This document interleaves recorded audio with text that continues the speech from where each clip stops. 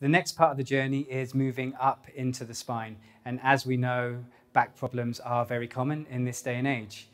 And we want to be able to teach you to switch on your core and create a certain kind of stability and strength within your core to protect your back in asana. So, in order to do that, I want you to get an, aware, an awareness or cultivate an awareness of your inner corset, also known as your transverse abdominals. And your transverse abdominals, the